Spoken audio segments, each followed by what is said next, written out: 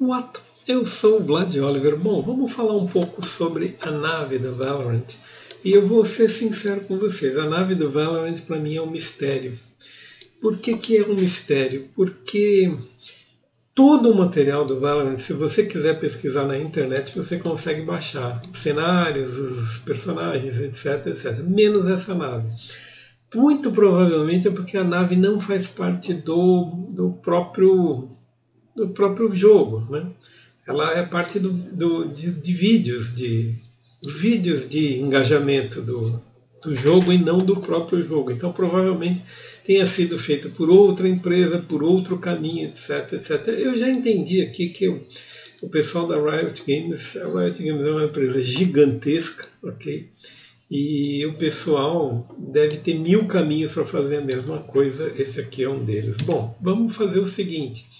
Material Preview. Eu já fiz uma, uma base.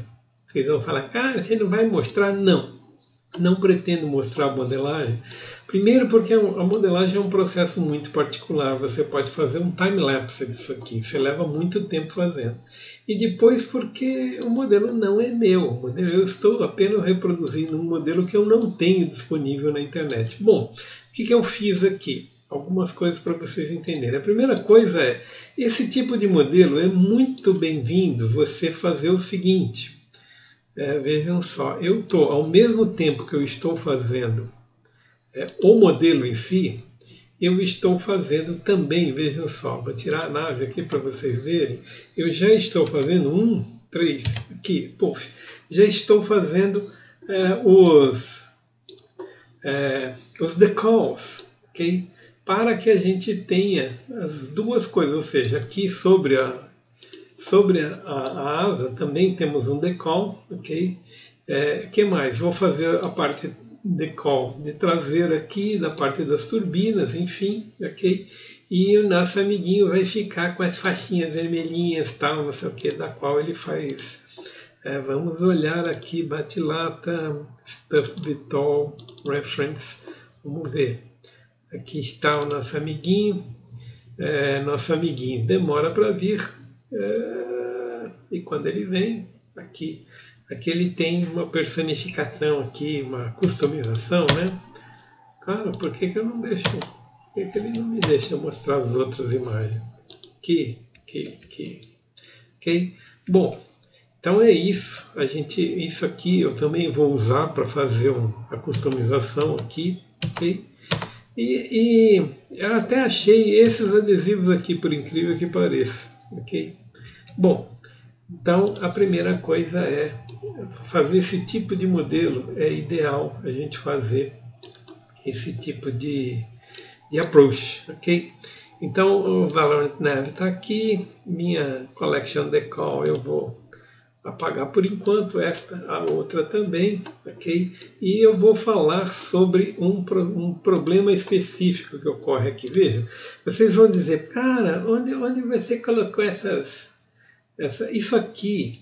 Eu já mostrei como faz esse material. É, o, vi, o vídeo disso aqui bombou, cara. Deve ter um, uma tonelada de visualização, não sei quantos, não me importa muito saber. Outra coisa é o seguinte, vocês estão vendo que tem 302. Eu contei isso aqui lá no, é, no After Effects. Okay? Eu estou evitando abrir por problemas de memória, já mostrei para vocês. A memória hoje está a milhão, né?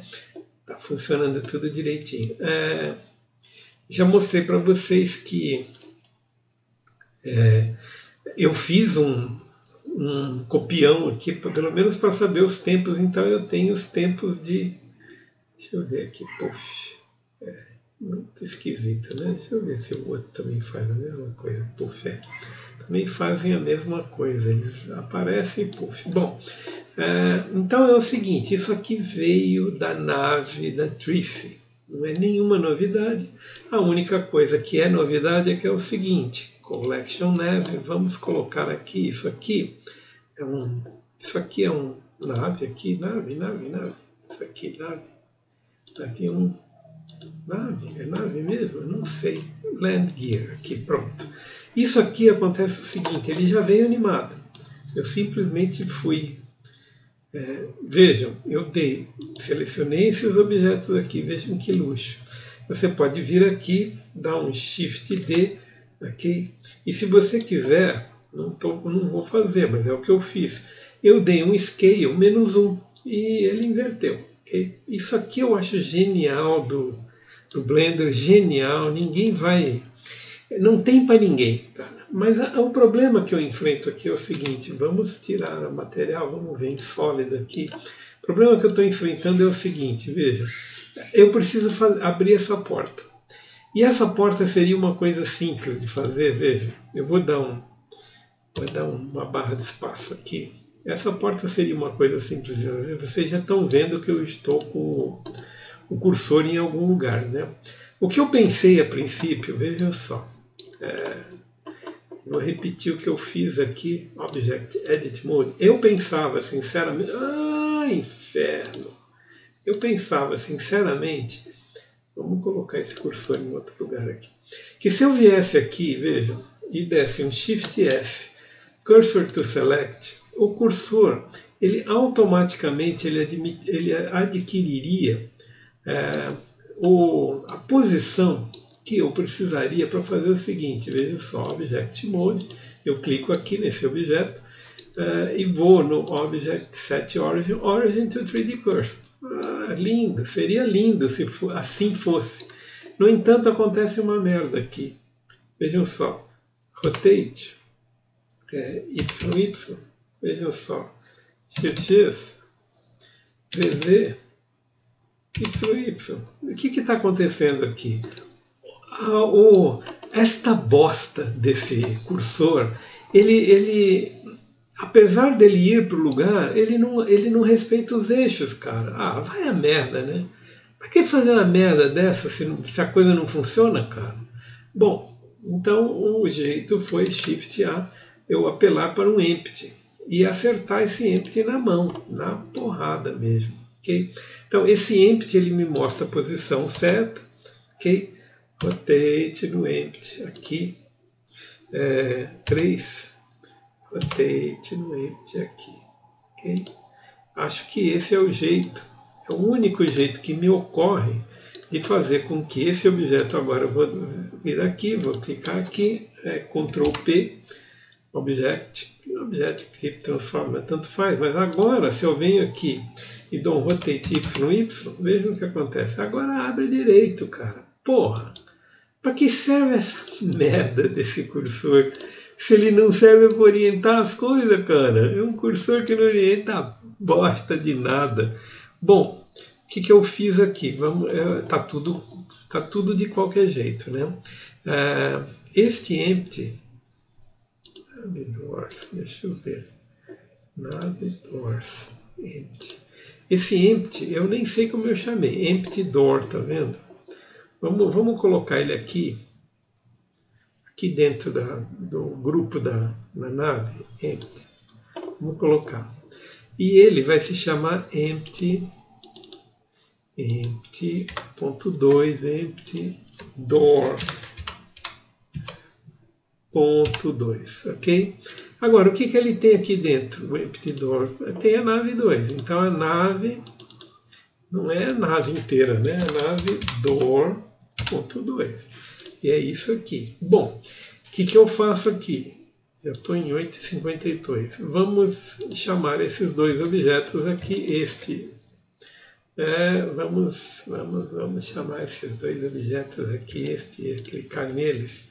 É, puff, puff, aqui estão. O que acontece aqui, só para vocês entenderem, é, eu preciso animar isso aqui. Então vamos fazer a animação rapidinho, ok? É, o que, que eu preciso fazer aqui? Eu já sei do seguinte, por volta do frame 60 é onde está baixando. Vamos colocar aqui mais ou menos no frame 50. Eu vou colocar um keyframe aqui, um keyframe aqui. É, insert keyframe eu vou colocar apenas rotation, né? Rotation, rotation, aqui, prof. Ok? E eu vou fazer o seguinte, eu vou chegar aqui no frame 65, 65, eu não sei, eu estou chutando, gente. É, rotation, YY, aqui, eu vou virar quanto? Vou virar 160. É a mesma coisa aqui. Rotation YY menos 160, né? 160. Bom, aqui eu não coloquei insert keyframe é, no rotation. Aqui a mesma coisa, insert keyframe no rotation. Então vamos ver se...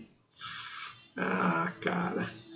Vejam que maravilha, ele não faz porra de nada, cara. Isso aqui eu preciso enfiar um. Não é tão simples assim como eu imaginava. Bom, cara, isso aqui é parte do show, meu amigo, ok? Isso aqui é assim mesmo, é assim que nós faz as coisas.